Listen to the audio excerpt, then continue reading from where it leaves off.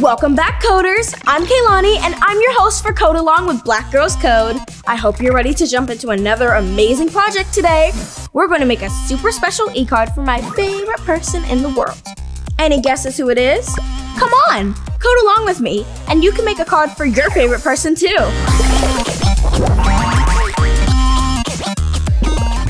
Before we get started, make sure to like this video and subscribe so you never miss an episode. Let's start off by going to scratch.mit.edu. If you're super new to Scratch or just looking for a little refresher, you should definitely check out this video from season 1 of Code Along. I go over all the important Scratch basics. Check it out! Now, I'm going to create a new project. You can do this by clicking on File, then New. Let's get started making our card.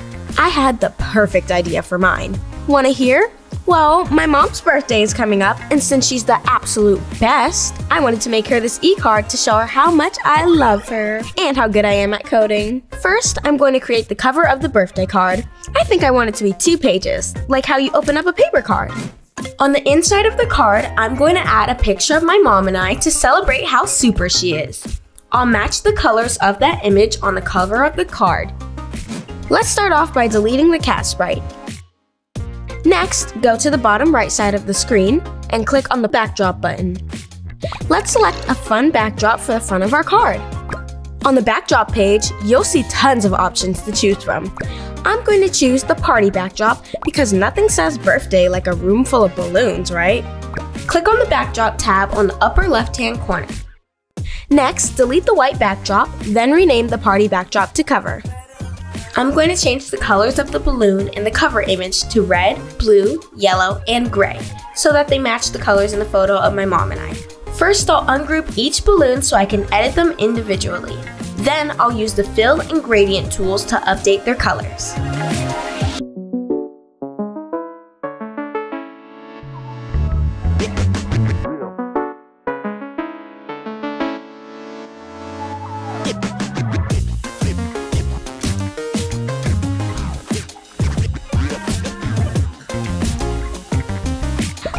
Should add a message to the front cover.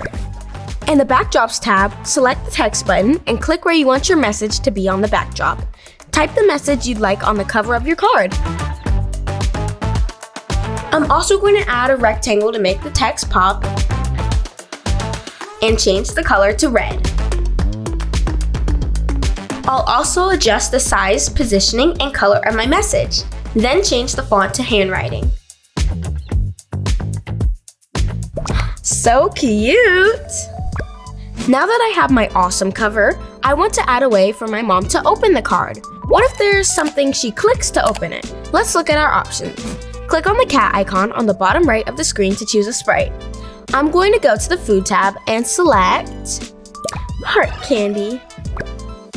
Place the sprite on the bottom right hand corner and resize it to 50. Click on the sprite, then go to the Costumes tab. I want to split the words open here between two costumes, so I'll delete costumes 3 and 4. Now, select the first costume. I'm going to select the text in the middle, then change it to open.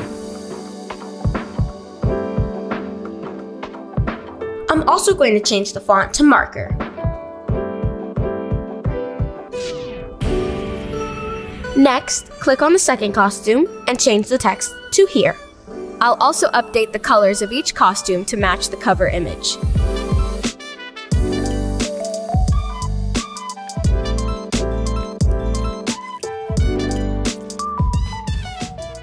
What if we make the text flash back and forth to say open here so that my mom knows where to click to open the card? Let's code it. Go to the Events tab and drag over the When Green Flag Clicked block to the coding area.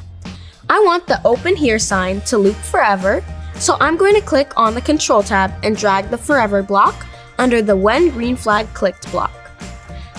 I want the word Open to blink for half a second, then switch to Here, so I'm going to drag the Wait One Second block inside of the Forever block. Next, go to the Looks tab drag the next costume block below the wait block. When we click on the Open Here button, I want a few things to happen. First, I want the sprite to disappear.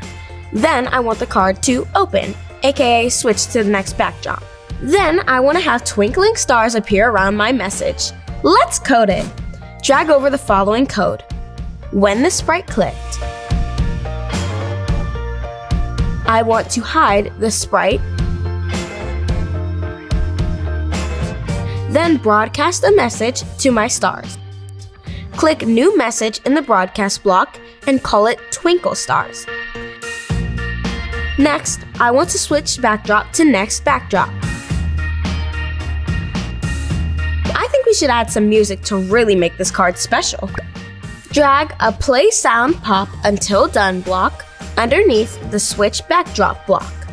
To change the sound, click on the Sounds tab and hover over the Sounds icon. You can choose a sound from a list of pre-recorded sounds, record your own sound, or be surprised from a random selection of pre-recorded sounds. Let's try Dance Magic from the Loops tab.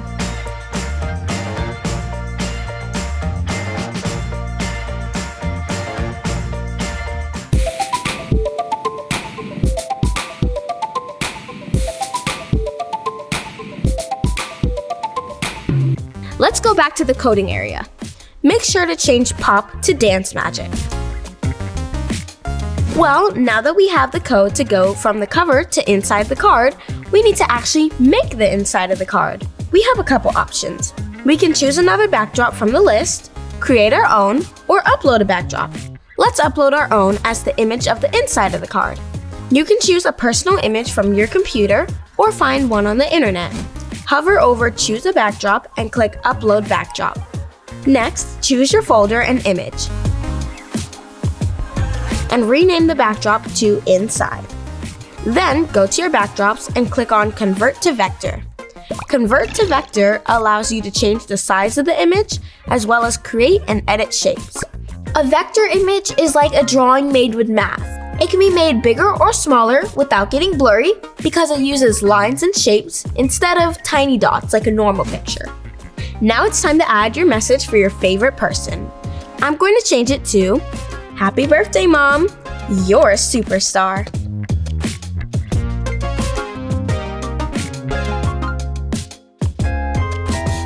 I'm going to change the color and font to match my photo and stars.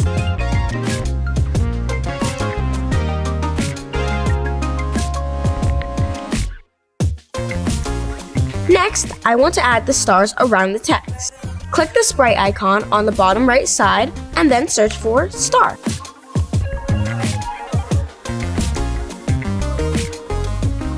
I want the star to twinkle in the sky, but what does that mean in code? Hmm. It means I want to hide and show the star on a loop to look like a star twinkling and shining in the night sky. Drag the When I Receive Twinkle Stars block into the coding area with a Set Color Effect to block. Change the value from 0 to 2. Drag a forever block under the set block. I want to show the star, then wait for one second, then hide the star. This will give us the shine effect.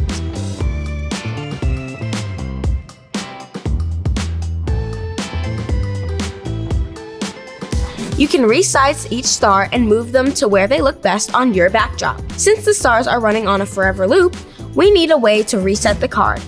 Drag a When Green Flag Clicked block to the coding area and a Hide block from the Looks tab.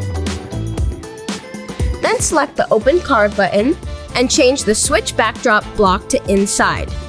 Then add a Show block to the starting blocks of the button. Now add a Switch Backdrop to block above the Show block and change its value to Cover.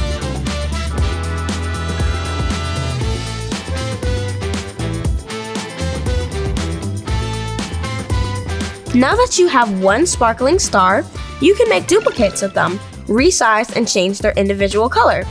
Let's really make this card shine.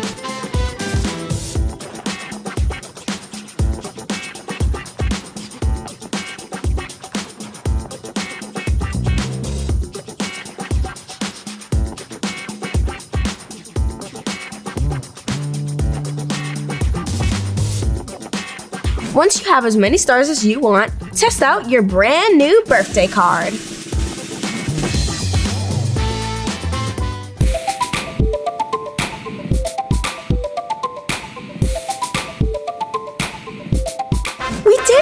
It worked! I think my mom will really love this. Today, we learned how to use events blocks to start our project and communicate when to add our stars animation. The control blocks helped us switch between the cover of the card and the inside, and the look blocks changed the background to reveal me and my mom. The last step is to save our work. Let's give our project a title, then click Save Now in the top right hand corner. Or if it's not there, go to File and select Save Now. Once we've saved and shared our project, let's view the project page to add the instructions, notes, and credit sections. Want to get hands-on with today's code? Click the link below and start remixing. Thanks for coding with me today, coders! I'll see you next time! Bye!